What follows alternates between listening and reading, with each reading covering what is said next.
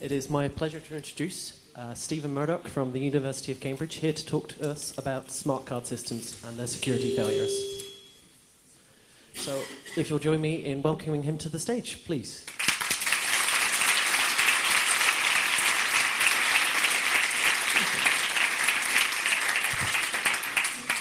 Okay, good afternoon, everyone. Hope you can hear me okay. So this is some work that I've been doing on the security of the chip and pin system in the UK, which I've been doing with two of my colleagues, Ross Anderson and Saar Drimer, who are all from the security group at University of Cambridge.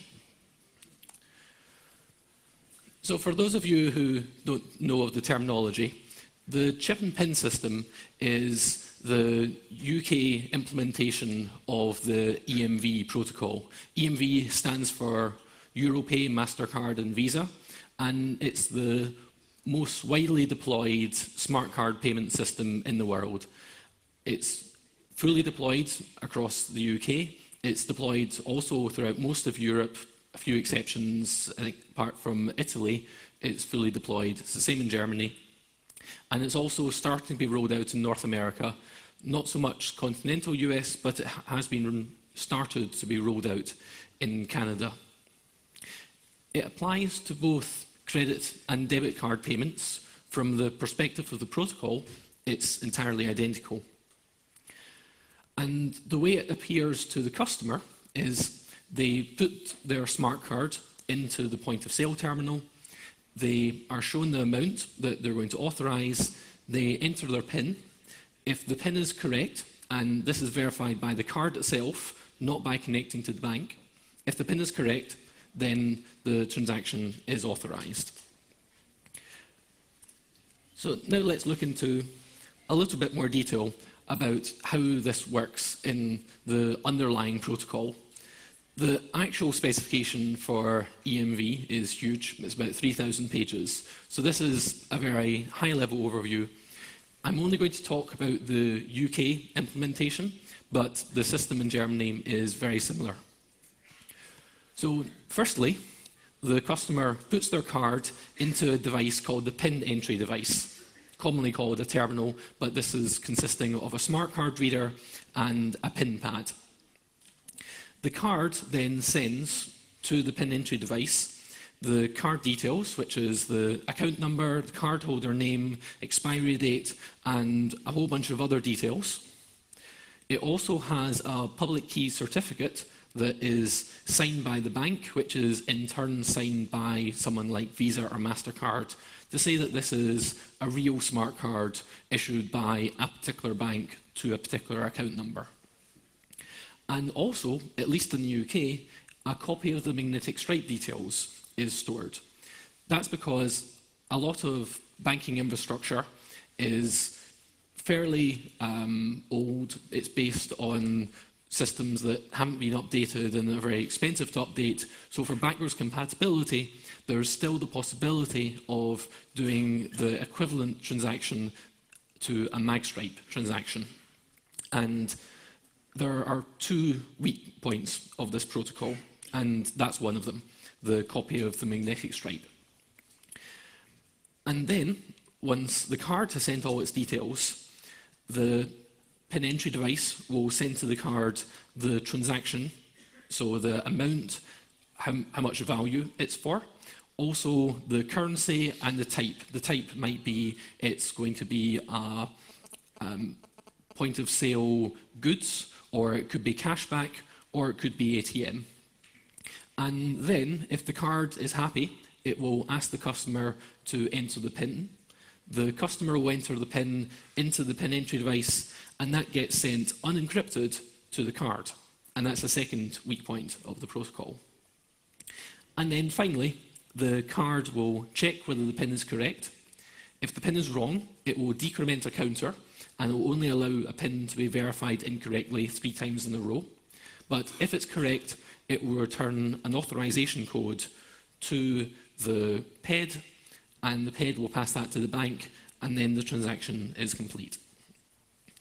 So there's two bits of information here that must be kept confidential.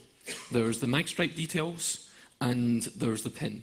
The reason these need to be kept secret is if someone discovers this information, they can use it to make a fallback transaction. This is that even though smart cards are deployed across Europe, they're not deployed in all places in the world.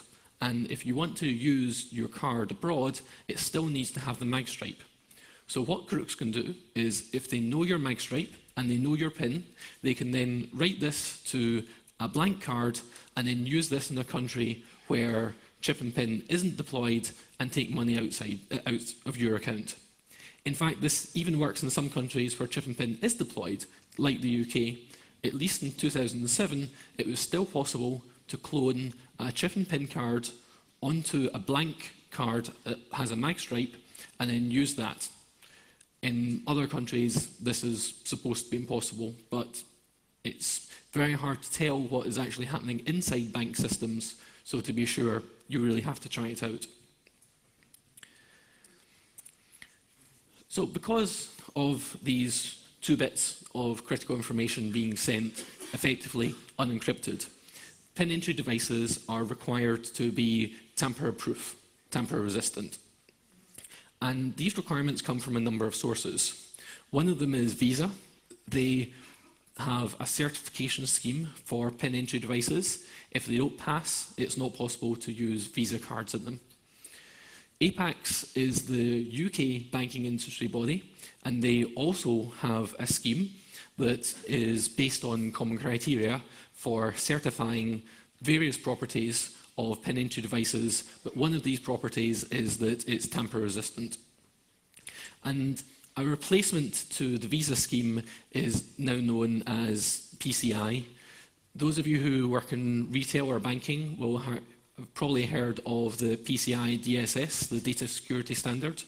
This is the requirement that you don't store certain details and uh, of bank cards, and when you do store them, they're adequately protected. So that's DSS, but there's another standard, PCI PED, which is certifying PIN entry devices, and that has now superseded the Visa scheme. In all cases, an external lab performs the validation. In the case of the Visa one, it was certified, it's a lab that has been approved by Visa. With PCI, it's approved by the PCI Council. With the APACS common criteria, the way common criteria works is that the governments themselves get to choose what labs are certified in that country for doing common criteria evaluations. But the standards are roughly the same in all cases. The PIN should not escape the box. The PIN should send to the card and nothing else. If it's attempted to be tampered with, then the, effectively the PIN entry device sh should self-destruct. And the sort of sums of money we're talking about is the Visa standard requires that it cost more than $25,000 per PIN entry device to tap it in an undetectable way that will allow the PIN to be extracted. So that's what the theory says, but we wanted to find out how well do these mechanisms work in practice. So let's have a look at some of them. This is the Dione terminal, the Dione Xtreme, and it has a fairly simple tamper-resistant mechanism. Um, you can see the yellow thing, that's a, a battery backup. That's how it stores the data in the non-volatile memory. And there's this blue thing on one side and a contact on the other. These keep the connection to the battery closed, but if you open up the case, then the battery is connected and it wipes its keys. The idea is then that the device is useless and has to be sent back to the manufacturer.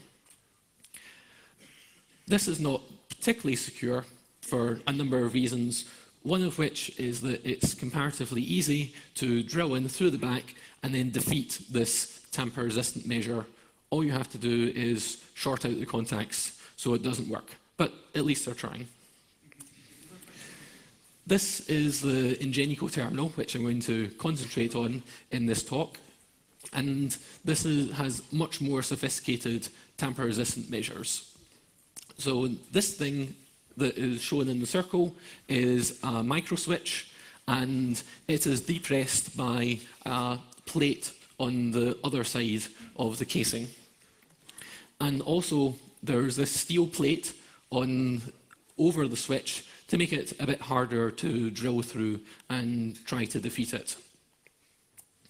That was the back, but on the front, you can see that there's these normal contacts that are for the keypad, but also between each of these normal switches, there's these four extra switches, and these are depressed by the front surface. And these make contact with extra contacts that are put on the circuit board. So if you lift open the front, then it disconnects the battery and deletes the keys and makes the device useless. If you look into a bit more detail, here's the microswitch again, and you can see it's surrounded by a raised circuit board, and there's this um, labyrinth of PCB traces, and this is a sensor mesh. If you drill through this um, layer, then this also disconnects the battery. On the circuit board, an entire layer of the multi-layer circuit board is another one of these tamper meshes. So if you drill through the PCB, then you are going to be detected. And also, if you look in the top left of this picture, around that extra switch, there's a, a extra contact. And what this is intended to predict is that if you want to defeat this switch, one way of doing it is by injecting silver ink, which will close the contact and allow you to take off the face. But there's this extra ring around it, which is also a contact, and if any of the silver ink leaks and connects to that, then that's detected as well. So it's actually pretty hard to bypass this tamper mesh. If you look at it, it's very fine. You need an extremely fine drill to get through there. But notice there's a big hole there. I'll come back to that later.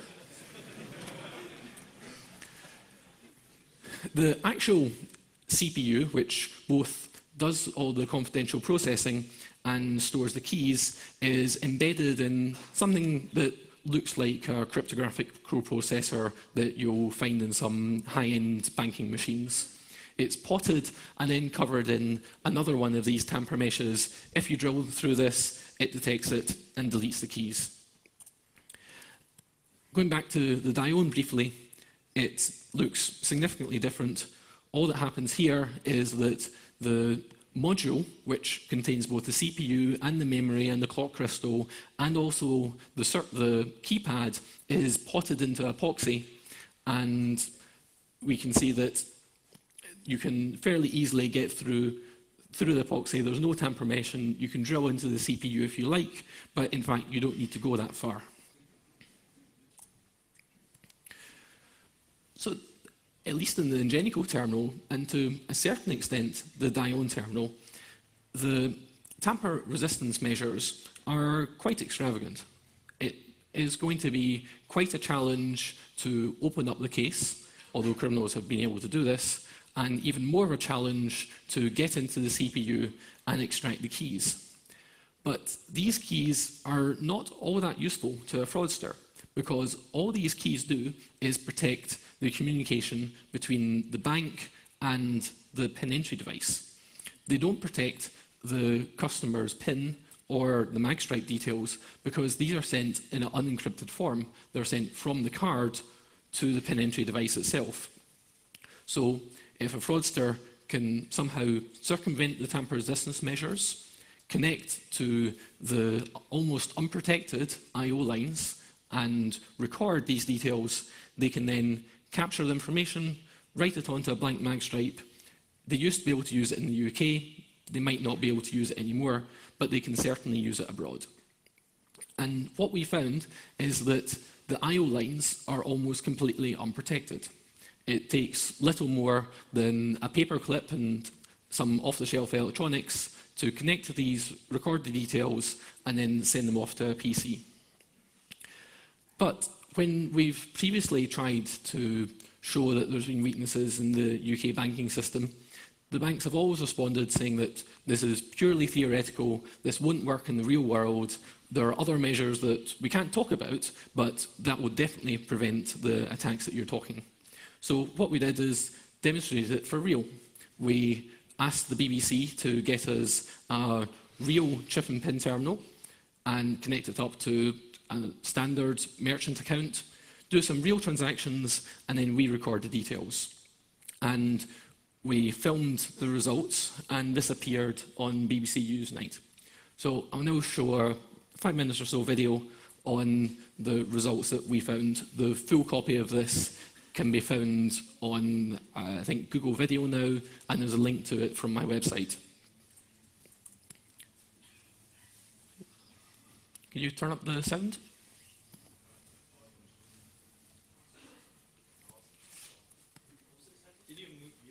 Oh, yes, you're right. Thank you.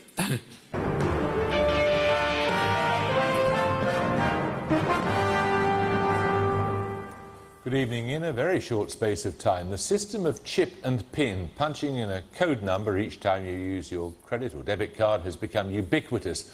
The great advantage, we were told, was that it had such good security protection. How could anyone steal from us if only we knew the numbers which would make our card function? As Susan Watts reports, it seems we were naive. By the way, while they were filming this piece, our cameraman fell victim to the fraudulent withdrawal of £1,000 from his account by someone in Serbia.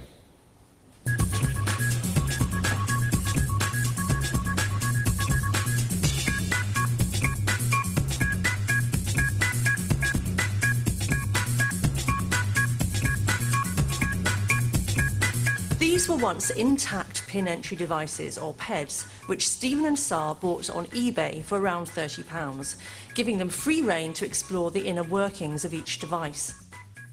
This one is made by a company called Ingenico and is among the most common of the PEDs in use in UK stores today, in shops including Boots, Asda and the Co-op Group. We found ways in which we can get into that interface between the card and the processor, and we're able to uh, read the data as, as it went back and forth. It sounds simple enough in theory, but these PEDs aren't live. The real test is whether the attack works on an active terminal.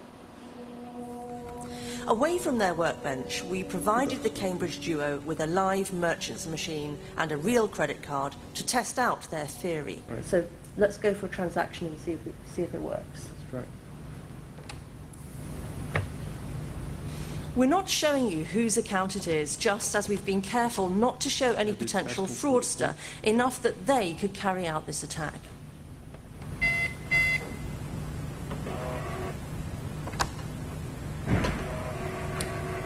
So now we just check to see that you've actually managed to pick it up, yeah? Yep. So the researchers have read off the name of the cardholder, their account number, and their PIN. The attacks that we've shown um, have demonstrated that it's easy to get the PIN as well as the card data out of the chip and PIN terminal. And this means that simply holding your hand over the terminal is no good. In other words, the customer cannot defend himself or herself, no matter how astute and careful they are. Therefore, surely the banks must take responsibility. By showing that chip and pin terminals can be easily compromised, the Cambridge team should now have made it harder for banks to blame the customer. There's now enough doubt about chip and pin for the onus to be on the banks themselves to come up with the evidence that it was the customer and not the security of their chip and pin system that was at fault. Well, with us now is Sandra Quinn of APACS, which is the uh, trade body representing the card uh, issuers and users. How many chip and pin machines are there in Britain? Over a million. We have a lot of pin entry devices, and the important thing to stress from this piece is that we're not talking about a break of the chip and pin security overall. Well, I think, uh, according to that, we certainly are. How many of these Ingenico machines are there? There's a, a large amount, but I think the important thing to stress is exactly what the Cambridge team themselves have said. This is a difficult fraud to do and to replicate in a large scale. I never So said that. They did it by acquiring stuff on eBay. Absolutely, and you can, you can do this fraud. What we're very careful about saying is we don't deny that this fraud can happen, but as we currently stand, there are more economically viable ways of fraud being undertaken by fraudsters, and So that's you- what our real concern is at the moment. You, you have known that this system is vulnerable for a length of time you're not prepared to disclose. Well, let's clarify. The system is not vulnerable. Chip and pin is extremely we've just seen it's vulnerable. It's not 100% guarantee against fraud. so it is vulnerable. No, there is no guarantee, 100% a guarantee against fraud. So it's fraud. vulnerable, by definition. There's no 100% guarantee, it's vulnerable.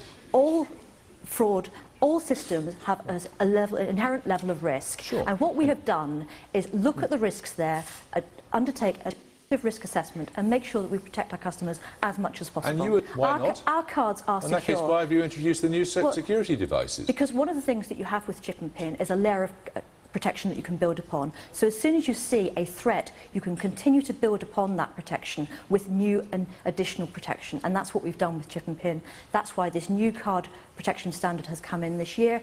And that's why What- all the assessments that we do about terminals continually moves and is upgraded. So despite the fact that new cards have enhanced security, the previous cards uh, don't lack anything by not having it. Well, I think, I, I think the figures speak for themselves here. As the piece said, card fraud with chip and pin has fallen. If In we, Britain. In Britain. If The we'd not problem isn't in Britain, though, is it? And you know that. Well, one of the reasons that we're making a very strong case to ask countries around the world to introduce chip and pin to ensure that we're all operating on the same global standard so that we can make sure card holders are being protected properly.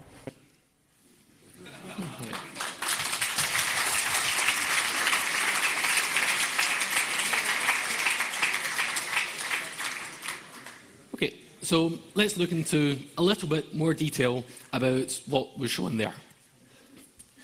So here is the Ingenico ped again. That's what it looks like from the front, and this is what it looks like on the back.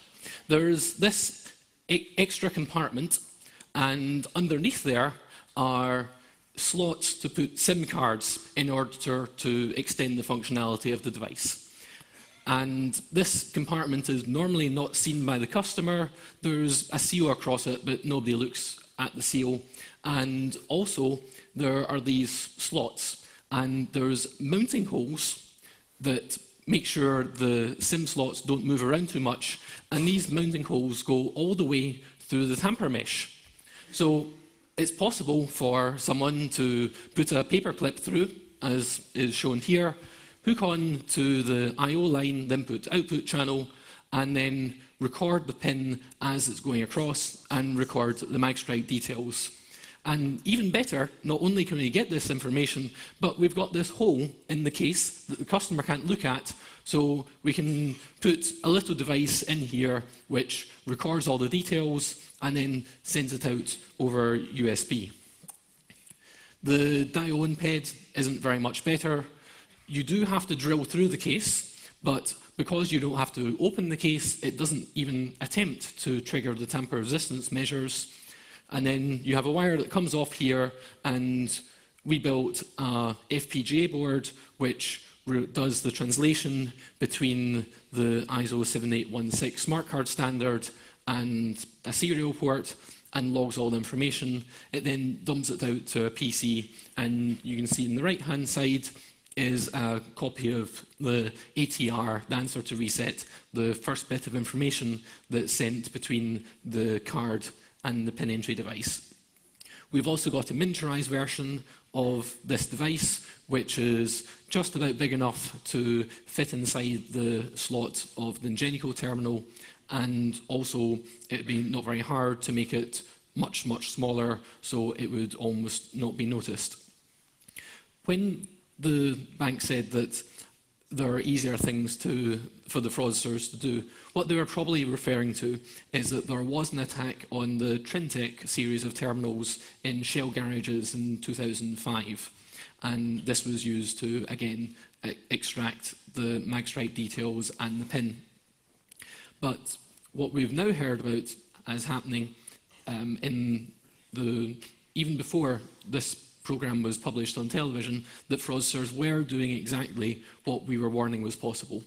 And the total sum of money is very hard to estimate, but one fraudster was accused of collecting enough details to commit 16 million pounds of uh, 16 million pounds worth of fraud. So this type of problem is costing a significant sum of money.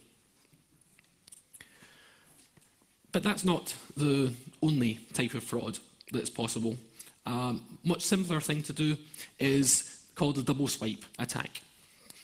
Although there is a copy of the magstripe details on the chip, if you actually want to get the guaranteed copy of it, then you read the magstripe directly.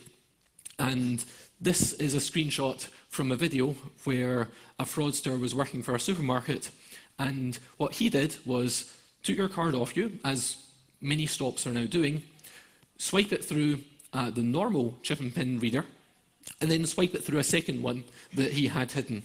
This then gets a copy of the magstripe. Then, either using a camera or just by watching, he can look at the pin that the customer enters and then use this for the standard attacks. Another more sophisticated attack is the relay attack. This was presented at the previous CCC, but to give a reminder for those of you who were there and those, also those who weren't there, I'll very briefly describe how this works. So here, Alice, who is the honest card holder, wants to, say, buy a meal in a restaurant.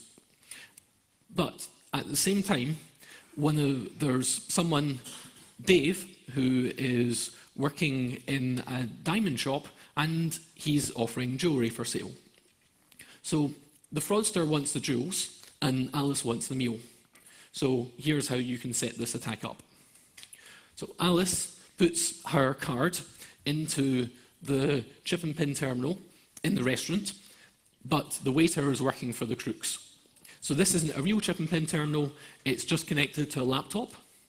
The laptop then sends the details to a second laptop which is connected to a fake card held by Carol, another person working for the fraudsters. And Carol puts this card into the diamond store shop. So when Dave's terminal challenges Carol's card to say, Are you a real card? Carol just sends all the information back to Bob's terminal and to Alice's card. And then Alice's card sends a response back through this chain all the way back, back to Dave. So with this technique, it seems as if, from Dave's perspective, that Alice is buying jewels. Alice only sees the $20 pop up on her chip and pin terminal because that can display whatever she wants. But when she gets her bill through, she'll find out that apparently she was in Dave's jewelry store and she just spent $2,000 on a fancy diamond ring. So I've talked about three issues in and pin. There are many, many more. And if this just affected the banks, then that would be more or less their own business. If they were willing to refund the cost of fraud because they don't want to roll out a possibly more expensive, more secure system, then that's up to them. The problem is that often the customer has to pay the cost of fraud. So this is a copy or some snippets from a letter, also available online, that is sent from the Financial Ombudsman Service to a customer who's been the victim of a phantom withdrawal, explaining why he shouldn't get his money back. So the first thing they say is that the firm has provided an audit trail of the transactions disputed by you. This shows the location and times of the transactions and evidences that the card used was chip read. Now, what does chip read actually mean here? Does it mean that the card details are read from the chip? Does it mean that the certificate was verified correctly? Does it mean that the transaction was authorized? Nobody really knows. And this particular customer had read some of the reports from Cambridge, so was a bit worried about the security of chip and pin. And in his letter, he questioned the security of chip and pin. So what the Financial Ombudsman Service said, that although you question the firm's security system, I consider that the audit trail provided is in a format utilised by several major banks and therefore can be relied upon. So I, this would be like concluding that a document is in XML and hence it's true. In practice, the documents aren't in XML, they're in EBCDIC, in, based on a format that originated from IBM mainframes uh, and originally formatted for punch cards. But it looks about the same as the previous ones that we've seen, hence the customer is liable. So the customer wasn't really happy about this, so for, he, he asked for these logs and for some more information. And what the response was is, although you have requested this information from the firm yourself, and I consider it not obliged to provide it to you, I conclude that this will not make any difference because the service has already reviewed this information. So this, he doesn't have the information, he's being judged effectively in a secret court, and he can't pass this information on to anyone who is willing to give it any more scrutiny. Then they go on to say that chip and pin is secure. As we've already advised you, since the advent of chip and pin, this service is not aware of any incidents where a card with a chip has been successfully cloned by fraudsters so that it could be used for them successfully in a cash machine. Now, this statement is just false. They don't say that they used it in a chip and pin transaction, they say it's a chip card.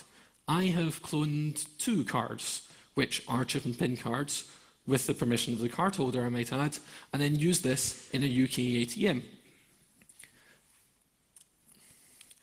But despite all that, the Ombudsman isn't going to give his money back.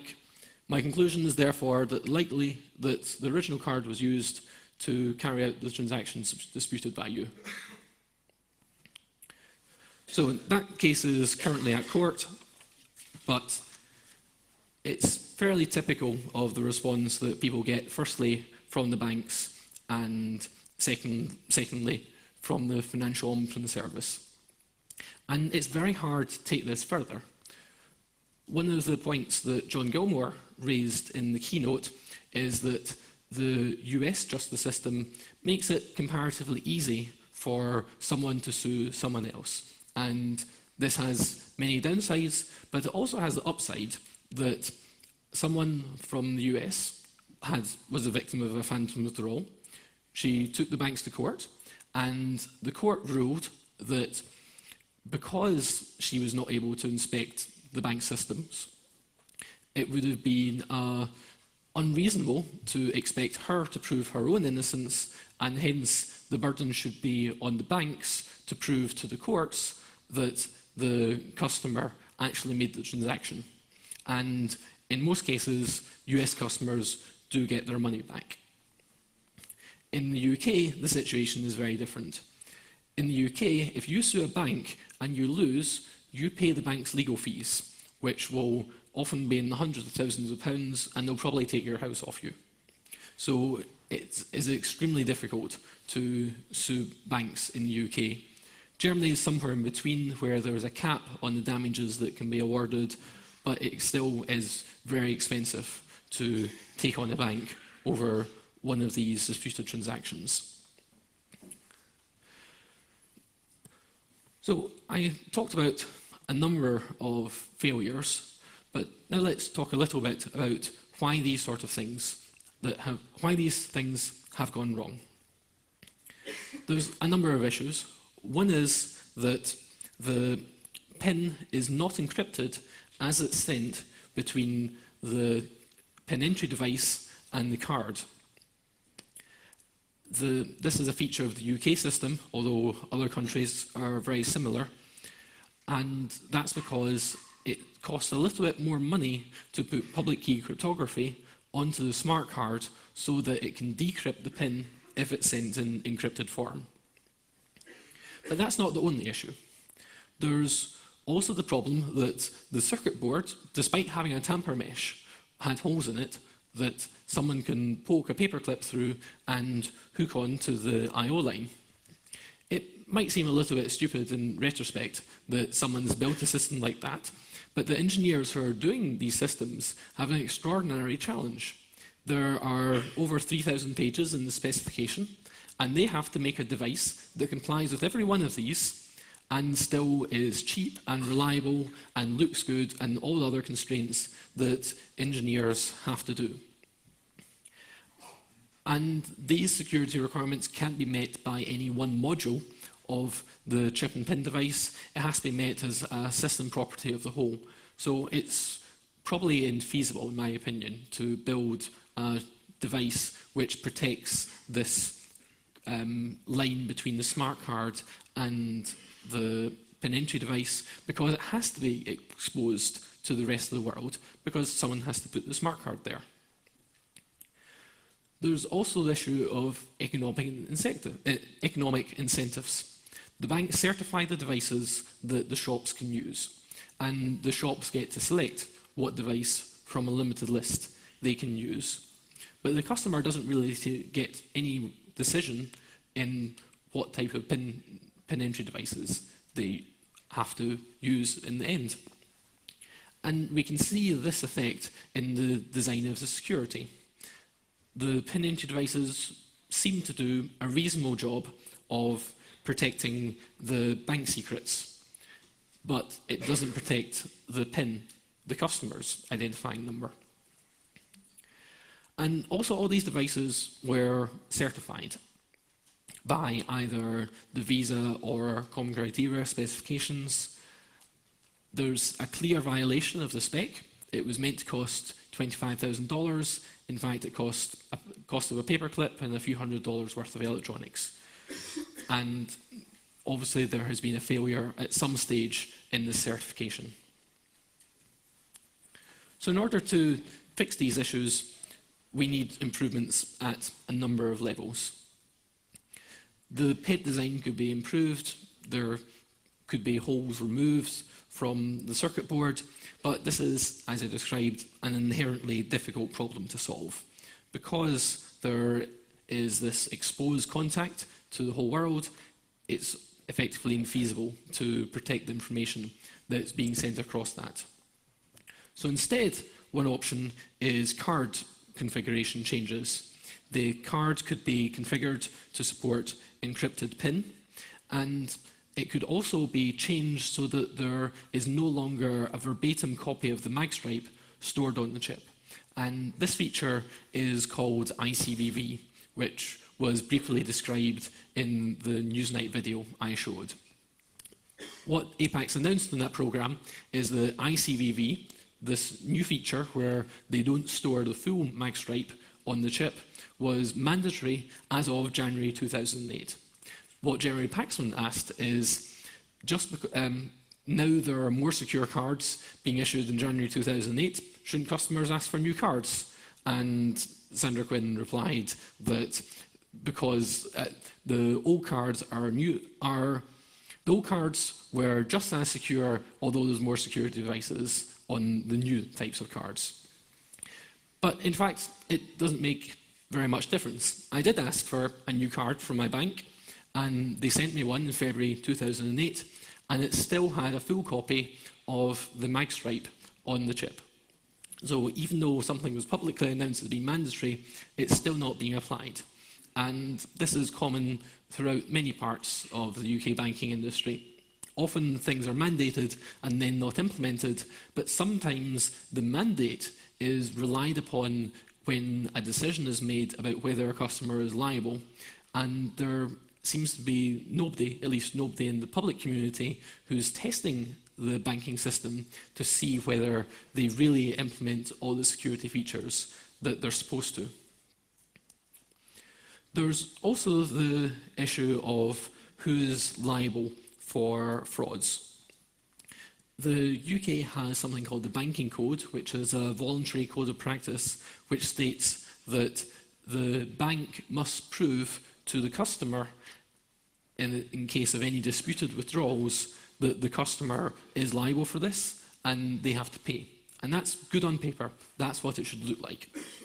But unfortunately, the banks get to choose what evidence they store. And the banks don't have to convince a third party that the customer is liable, they have to convince themselves. And the levels of proof that they require for convincing themselves are fairly low.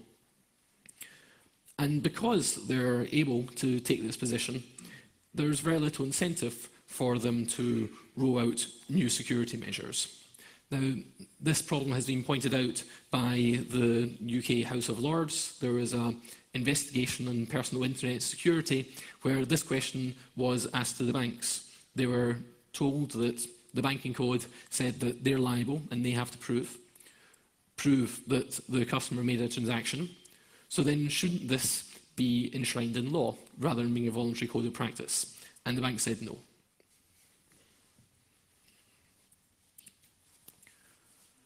So I mentioned that all these devices were certified. The Ingenico was certified under common criteria, and the Dione was certified under the Visa standards. So the way that common criteria work is that the, there's a certification body for the country appointed by the government which looks after implementation of common criteria in the country. In the UK, it's called CESG, they're also known as GCHQ. They're the same people who spy on people. In the US, it's um, a combination of the NSA and NIST, the National Institutes for Standards and Technology, I think. So because this was a, a UK distributed device, we asked CESG about this device and why it still passed certification even though it was clearly flawed. And they replied that they didn't really know because this was not a common criteria certified device, it was evaluated. And there's a bit of a subtlety here that certified means that there is a public report that's produced on how the device performs, and this report is then sent from an independent testing lab to the certifying body for the country, CSG for example, and they say that this is a good device and it can be certified. What actually happened was that APACS went to one of these testing labs and, well, sorry, the manufacturer of the device chose a testing lab. The testing lab produced a report, it got sent to APACS, and then APACS then said that this looked good, and they were then happy to evaluate it. But they're not in any position to certify something. So this is a bit of a subtlety. It's a subtlety that's lost even to the common criteria board themselves because the list of certified devices is on a web page entitled List of Evaluated Devices. So there is an issue here that consumers are being told that these devices are being certified to an international standard and they're not. They're effectively being self-certified by the banking industry themselves. We also asked Visa because they certified both of the devices that we looked at as being secure, and they didn't respond to any of our questions. There is a copy of all the letters that we got um, on our webpage. Um, the one goes into quite a lot of detail and is worth reading. So there is clearly a failure here in the common criteria certification. So we asked CSG and APACS what they were going to do. CSG said that we need to discuss this with APACS, and APACS said that the responsibility for this is CESG. And as far as we can tell, these devices are still certified and still listed on the APACS website as being evaluated under common criteria and are still in very wide use. There's also the issue of secrecy in certifications.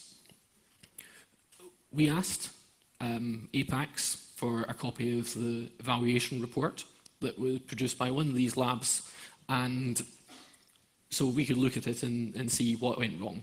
Did they not do the tests we did? Did they not consider the possibility that someone could go in through one of these holes? Um, did they consider that this was an acceptable risk? In common criteria, you can declare that something is certified even if it doesn't meet all the requirements of the certification, but you have to write that you've done this in the report. And what APACS said is that no, we can't have the report, and that they're not aware of any widely recognised or credible evaluation methodology, process, and security or otherwise, which makes evaluation reports publicly available. And again, um, they say that secrecy is necessary for security, because if we say how the devices work, then it will reduce the effectiveness of, these controls. Now, clearly, it hasn't worked. These devices are fairly easy to break and they are being broken by fraudsters. And I think instead, a more hostile evaluation, rather than being done by an evaluation lab that's contracted by the, certific- by the manufacturer of the device, is more likely to find some flaws. What CESG said was the exact opposite. They said that the publishing of evaluation reports is mandatory. So again, we have this contradiction between APACS and CESG, and it's very hard to see how to resolve this sort of issue. Okay. So, in summary, there's a number of problems with chip and pin, but they're due to a combination of certification, regulation, and incentives. The protocol designers managed to save some costs by allowing the pin to be sent in the clear between the card, uh, between the PED and the card. But in doing so, they imposed an unrealistic cost on the designers of the pin entry device and requiring it to protect this I.O. line. And that again left customers at the risk of quite significant levels of fraud and often fraud that they cannot be refunded by. I don't think any of the people who designed this were stupid. They were just put under unrealistic, unrealistic expectations. They had a 3,000 page spec to work from and also a spec that is under fairly rapid change. Maybe when they first looked at it, encrypted PIN was mandatory, but then later on it changed and they had to evolve their device to take into account this new environment and new set of constraints and in the end created a device that was not secure. And I think looking at the design of the system overall from the perspective of incentives is a useful approach. We've seen that the person who designed, who controls the design of the system, i.e. the banks, has their interests comparatively protected, but the customer, who has almost no control, is left very vulnerable. And I think the lessons from this are not just applicable to banking security. We've got the same set of problems with voting machines. Voting machines are certified and found by various organisations to be completely secure. There's a lot of resistance from manufacturers for any sort of analysis into these devices. So I think the issues that raised here are certainly applicable to voting machines and probably also to many other areas of research too. So that's all from my talk, but there's lots more information on my website. The address is down there. There's videos, an extended version of the paper where we go into a lot more detail and also the letters from the vendors.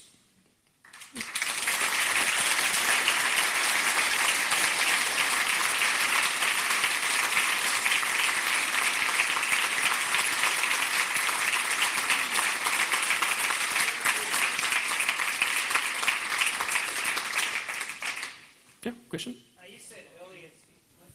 You said earlier that you had cloned two cards. Presumably, you had just put the uh, created a magnetic stripe with the um, magnetic stripe data from the chip. Yep. Are you aware of anybody cloning the actual whole card? Um, so there has been fraud no- in France where people have cloned the chip as well. And the reason they're able to do this, if I just go back to the protocol diagram, is that there's a static digital signature over all the card details. This doesn't assure you that the thing you have is the right card. It assures you a, a right card actually exists. So if you make a clone of this, then you get a copy of both the chip and the magstripe. This won't work for all types of transaction because the last stage here is symmetric cryptography, and it, at least in principle can be detected that a clone exists. But in some countries like France, chip and pin terminals regularly do not contact the bank in real time, and so you can do a clone or a chip like this.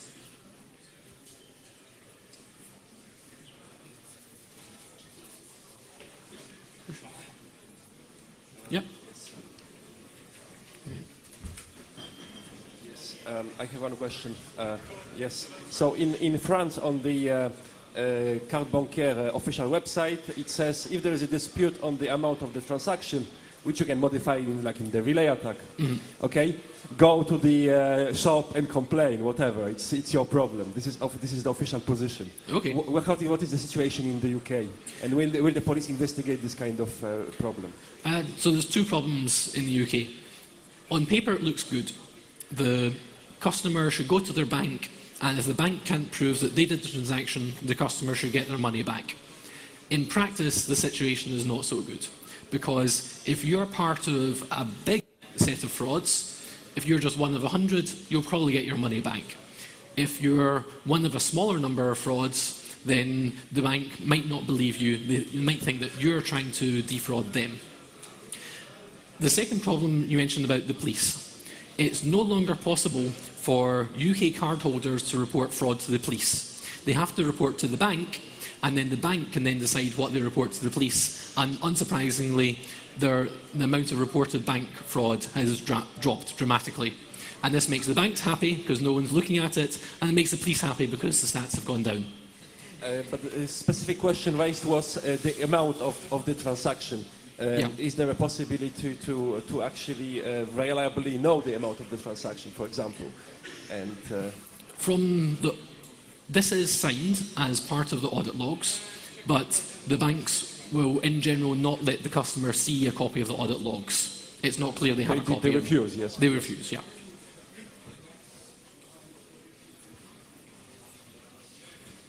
Um, I- I've heard reports about uh, term, uh, PEDs being modified by the manufacturer, so they actually contain a Trojan or you know something that does Yeah. that. Is that something that you've looked into as well, or is, is the manufacturing process uh, certified in any way? Or Um, it's not something I've looked to personally, but I have seen the reports and they do seem very plausible.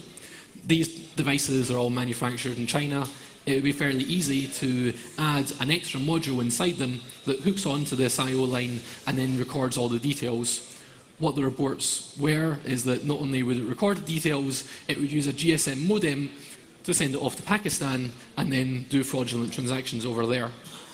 so the only way to really solve this is to have end-to-end uh, the card communicates directly to the bank computer and uh, do something that basically just tunnel the communication between there. I believe in that case, the frauds were committed using magstripe fallback. So that is another set of flaws. Uh, that's an effect of encoding a copy of the chip, of magstripe, on the chip. Hopefully that will be corrected. Obviously they're not on the time schedule that disclosed, but if that is being corrected, then it should stop this type of fraud. But there are other designs of chip and pin terminals which do read the magstripe as well. And if the fraudster tampers with one of these, then they've got a copy of the magstripe. So in that case, all you could do is turn off magstripe fallback. Just uh, thinking, uh, how would you design a system that should be totally secure if you were to design one? I think in my world, the first thing I'd do is make the banks liable for fraud and then leave it up to them to design the system to be secure enough. Because there are very expensive modifications you could make to these to make them more secure, but maybe the losses of fraud don't justify it. If the banks are paying for the costs, that's a fine decision for them, for them to make. But if they decide what to do and the customer pays, then it's not a fair situation.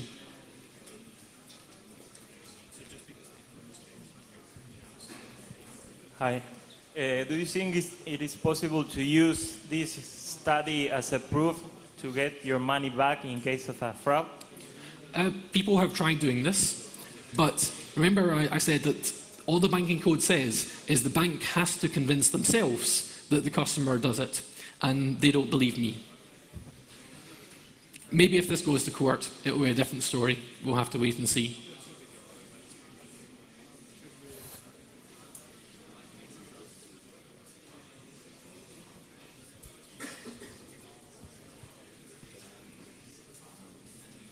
Are there any questions from the back? Um, something else maybe. Um, do, you, do you have an idea about the mobile card readers, how the data are transmitted back to the main terminal somehow? Is it Yeah, um, I haven't looked at it. okay? The specifications say that it must be encrypted. It doesn't say how good it has to be encrypted. Web is also encrypted? Um, someone with a protocol analyzer should look. Mhm. Thank you.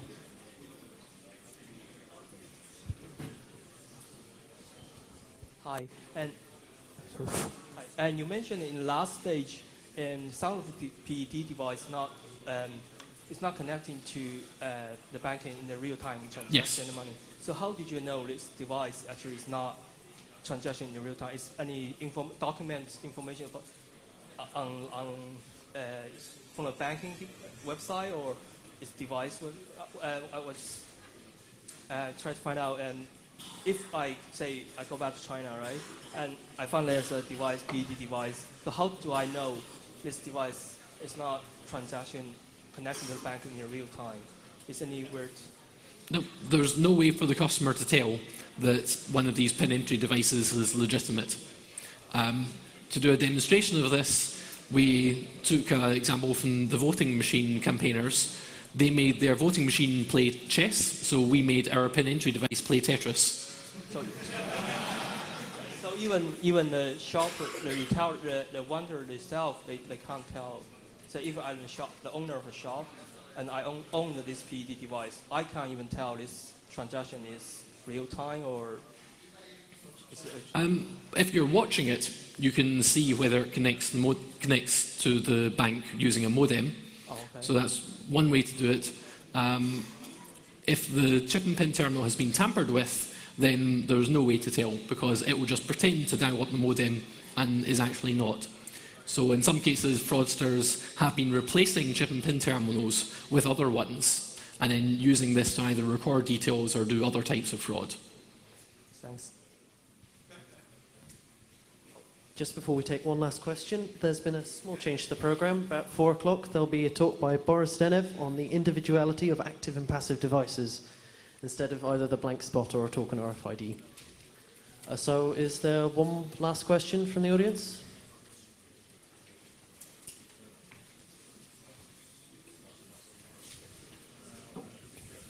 So if this connection is not like real time, um, how big is the delay between the pin pad saying, okay, your, your money is being booked and the actual uh, action taking place?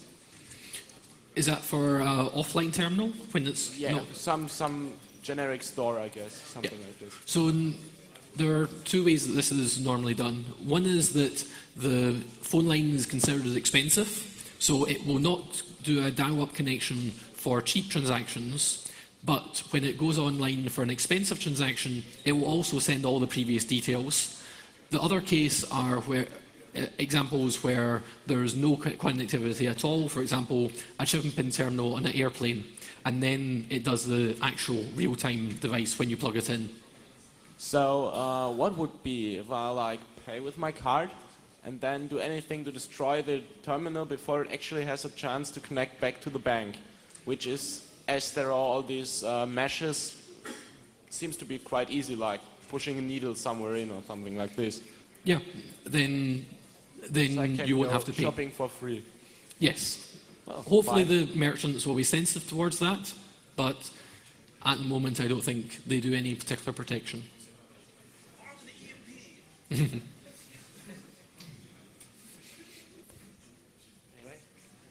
Uh, thanks a lot. And uh, thanks again to Steven for coming and giving this fantastic talk.